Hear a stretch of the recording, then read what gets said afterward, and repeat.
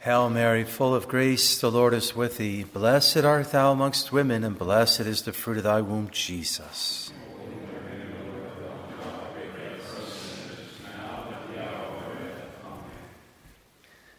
Holy Archangel Michael, defend us in battle, that we may not perish in the dreadful judgment. In the Summa Theologiae, great magnum opus of Thomas Aquinas, in the second part, covering the virtues, the great doctor of the church often asks whether this or that particular virtue under discussion is the greatest of the virtues, whether it be humility, magnanimity, patience, or charity, or some other virtue. If memory serves, unless I'm mistaken, he usually answers yes, it is the greatest in some certain way. That is, when viewed under some special aspect. The same might apply to the saints. The imitation of Christ warns the pious soul not to get hung up on what saint is the greatest, which is the greater than another. Thus, we hear in the imitation many inquire who is the greater in the kingdom of God who themselves know not whether they shall be worthy to be numbered among the saints. Yet we do know for certain the greatest of the saints is Our Lady.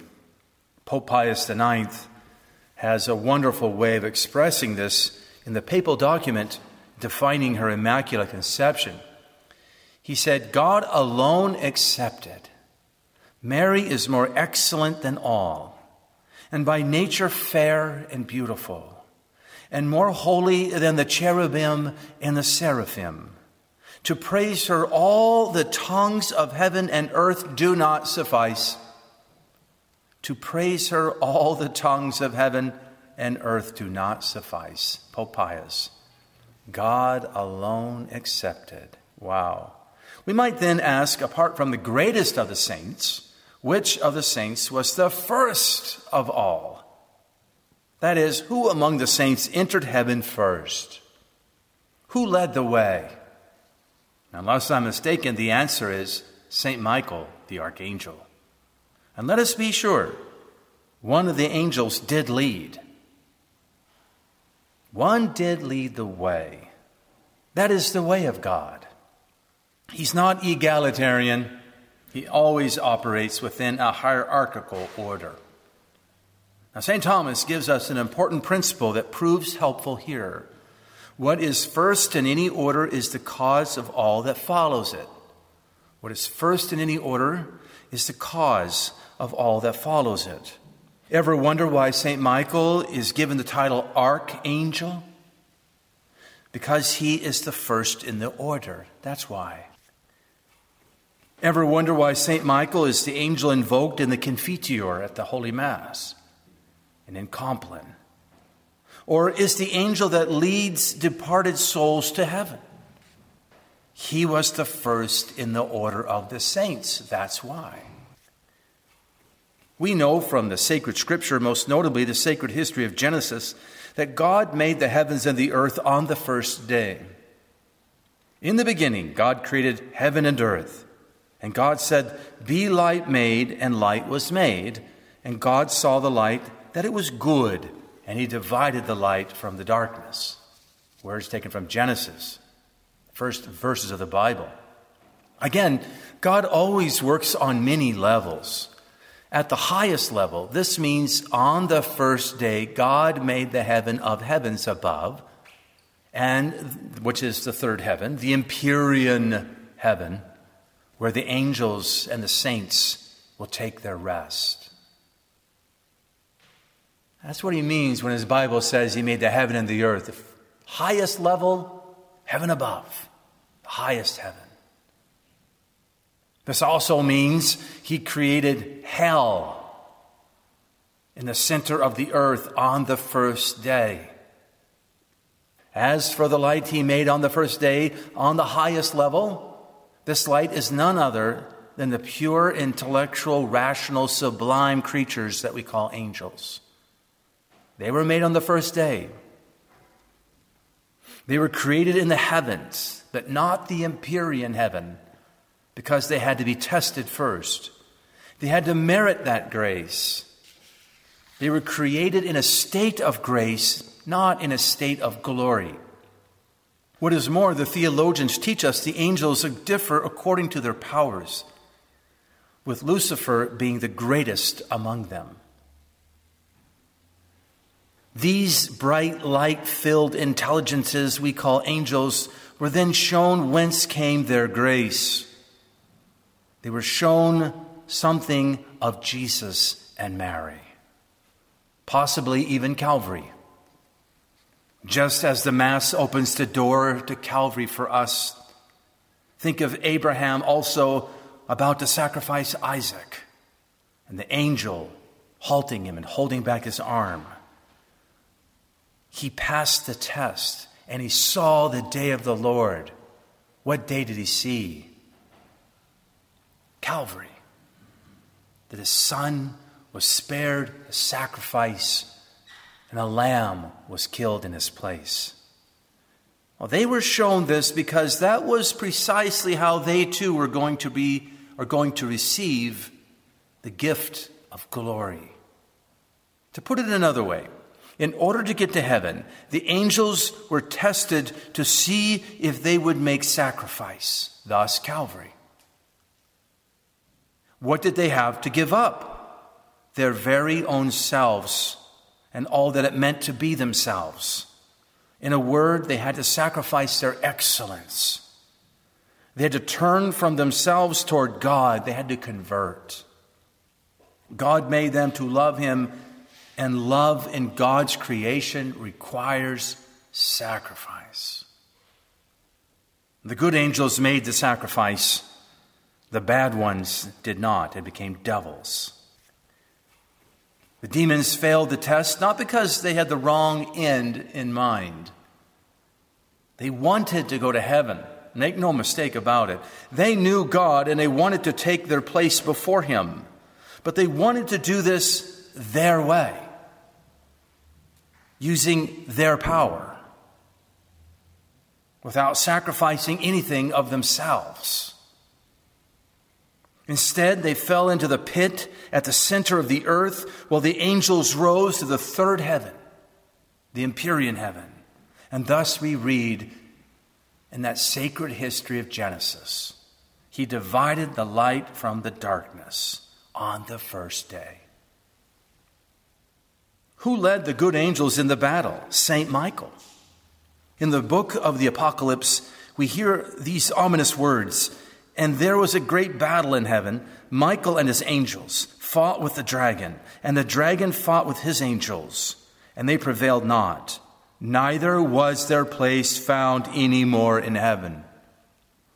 Is there not here a hint, nay, even more than a hint, that St. Michael led them in battle he also led them into heaven to take their place. He was the first in the order. Although not the greatest of the angels by nature, Lucifer was. He nevertheless sacrificed himself so perfectly, more perfectly than all the other angels. And so St. Michael became a participant in all the saintly and angelic causes that follow.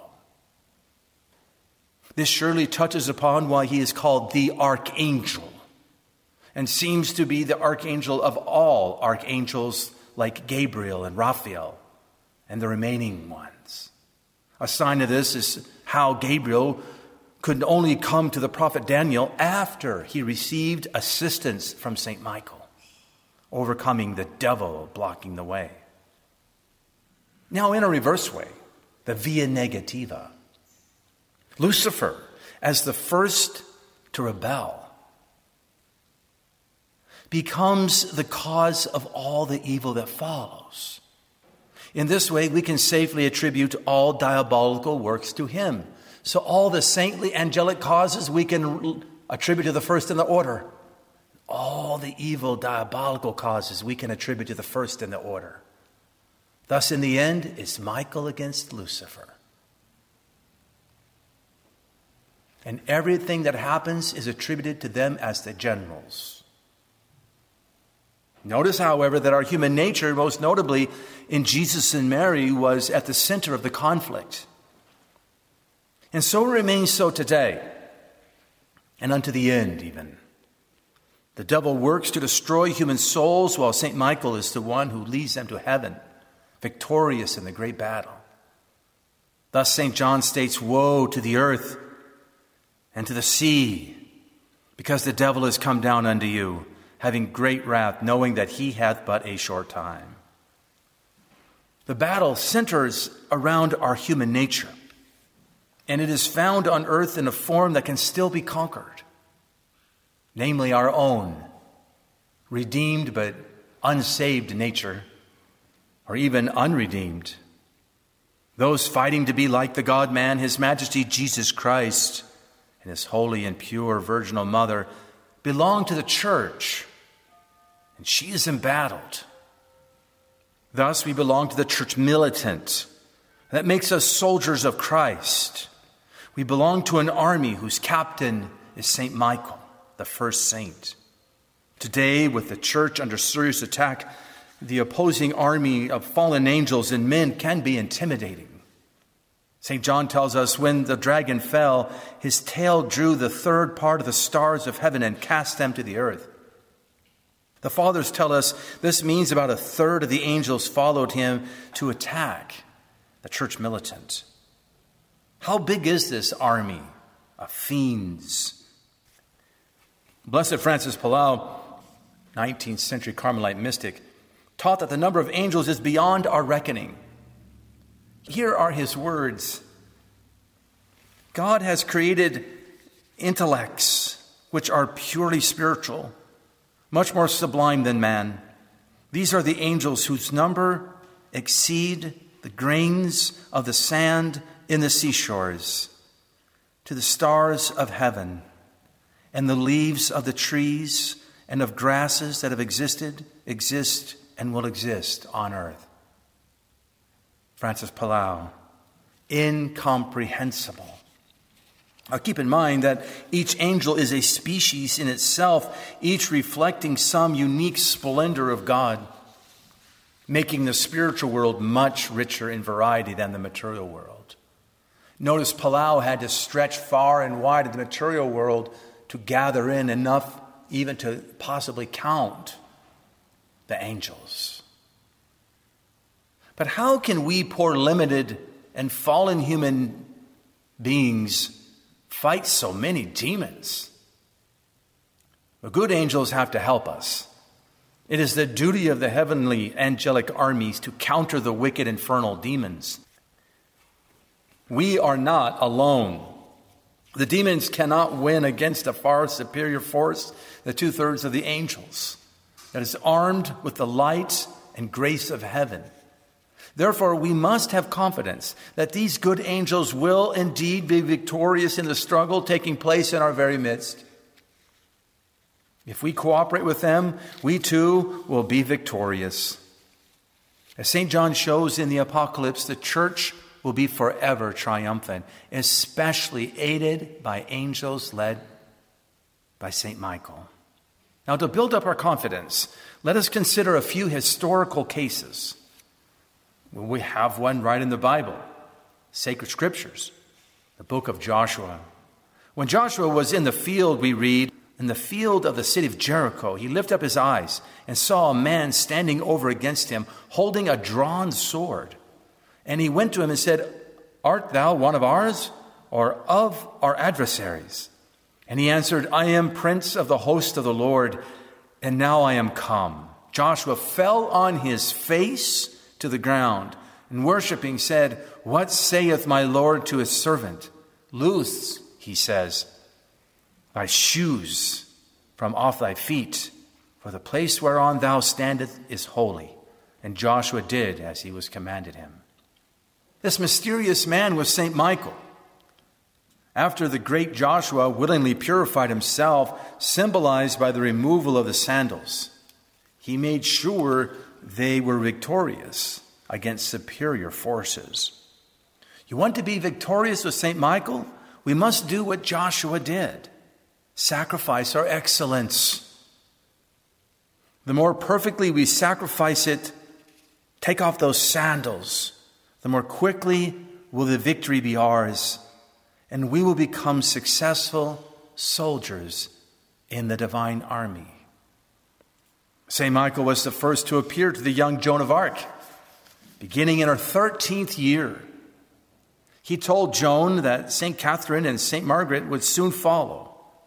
Her descriptions of St. Catherine and St. Margaret were of gentle comforters, whereas St. Michael was brilliant and bold and stern.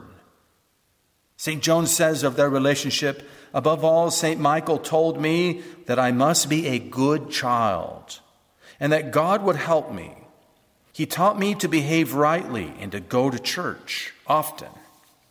It seems clear from the record that he was the one who taught her the faith so perfectly that she could stand up against a court of stern prelates and theologians because they were nowhere near the sternness and brilliance of St. Michael.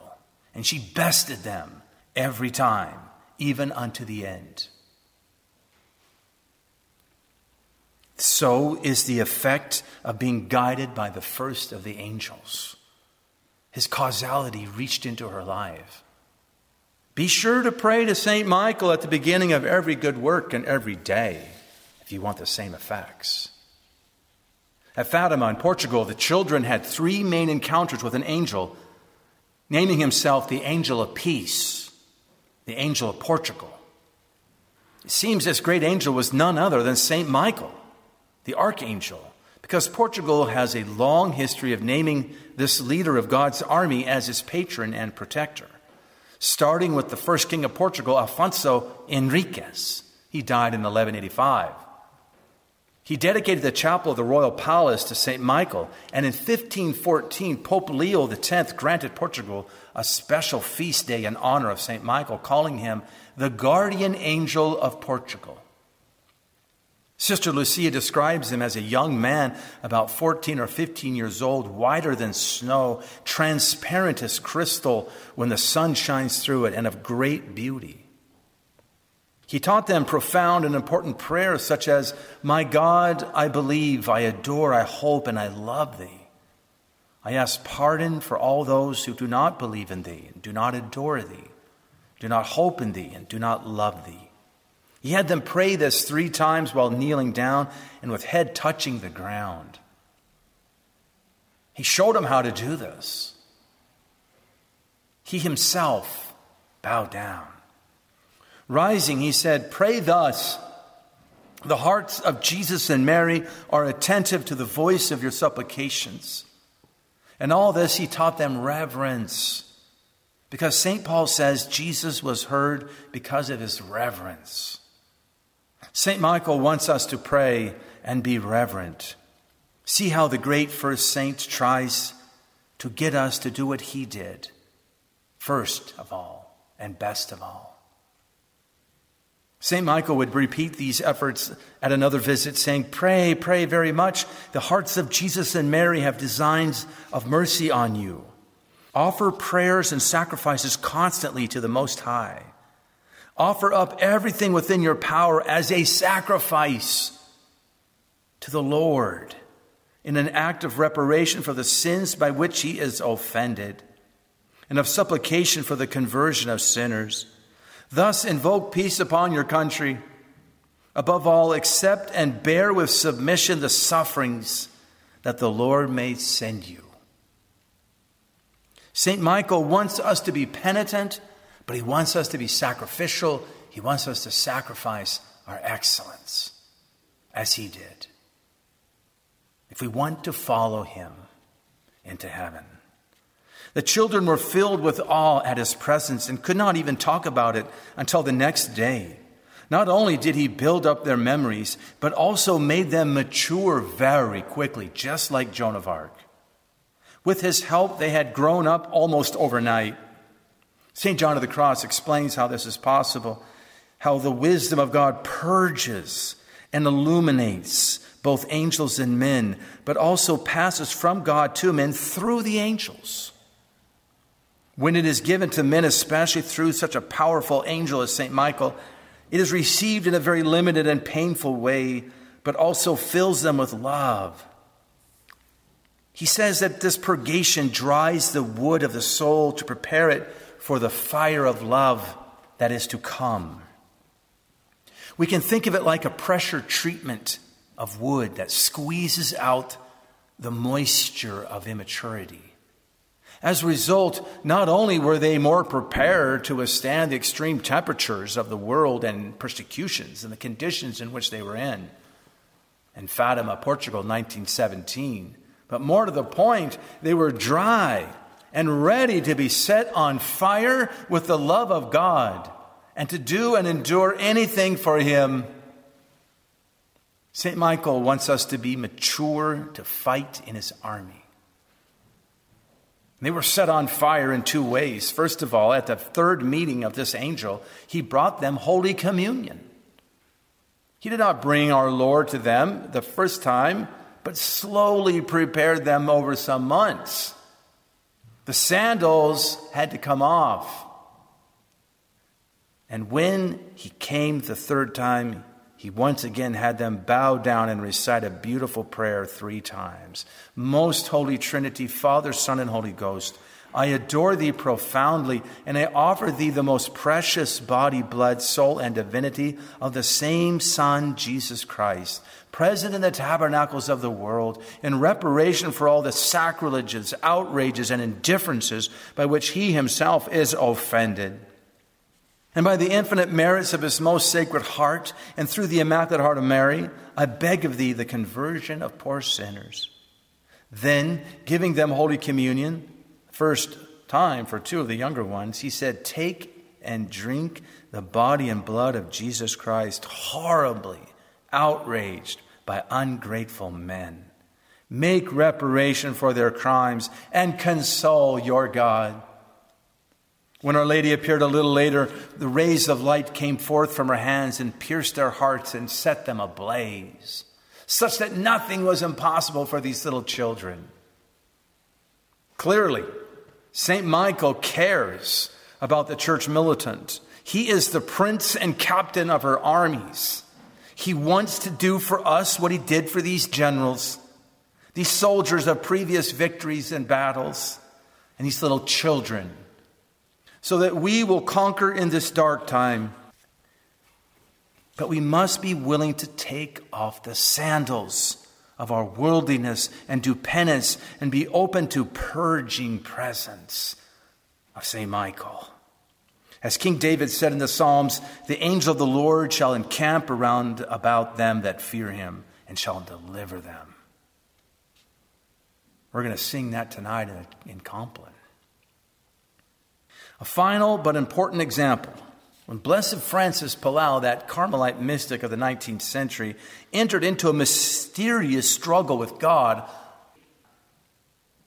he learned in order for him to gain the victory, St. Michael came to clothe him in the priestly garments, making the Carmelite mystic like unto God, enabling him to be heard and the same mystic received the most amazing vision of the attack of the demons upon the church in Rome, perhaps not unlike what Pope Leo XIII would later witness. He actually wrote this up in a letter and gave it to Pope Pius IX. He met with an angel on Fort San Angelo, who that is the home of St. Michael in Rome. That's where St. Gregory the Great saw him sheathe his sword after the plague had ended. In this vision involving him, we learn some very important things, and here are a few of them.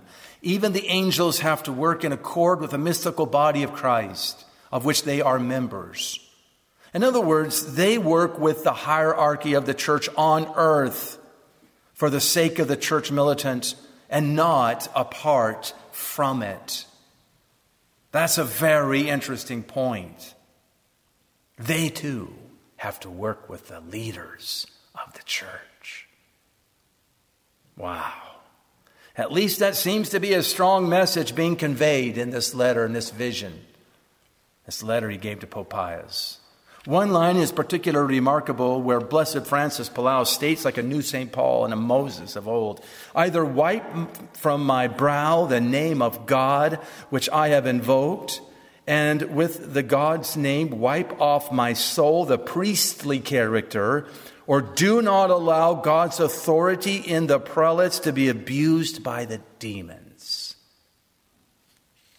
What a generous spirit animated this man. He also seems to be saying that if the good angels are not engaged with the prelates to use God's power for the good, the demons will be there to aid them in abusing it for the bad. Can it be that the power of the Pope to bind and loose heaven can extend even to angelic aid? Palau's vision says yes. It has an angel with a chain to heaven's authority, and he's not using it, it says. And he has a chain sitting there ready to shackle all the demons, and he's not using it because the Pope's not doing it yet. Interesting. Another lesson we learn, a few more little lessons. The infernal powers cannot do any more than what is allowed by God, quote, in his plans for the church, end quote. We know that. Third of all, Palau points out that the political powers of the world are under the sway of the infernal powers.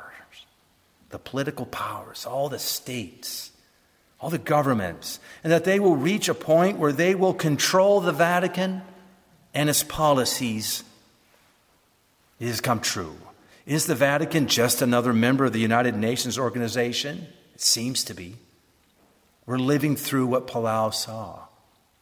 And finally, in the vision, Palau prostrates himself before the church.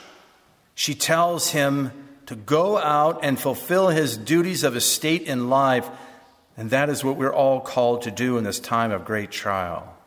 That is the very penance required of our Lord and his Holy Mother. Even the great Saint Michael has to do this too and wait until the mysterious plan of God moves the hierarchy to act such that the first saint can fulfill a prophecy he gave to Palau. With the tip of my sword, I will cut off the crowned heads and armed horns of the dragon in one day. The tide is going to turn. St. Michael, enlighten and purify us from the moisture of immaturity. Help us to make reparation, reverently receive the sacraments, and offer everything as a sacrifice.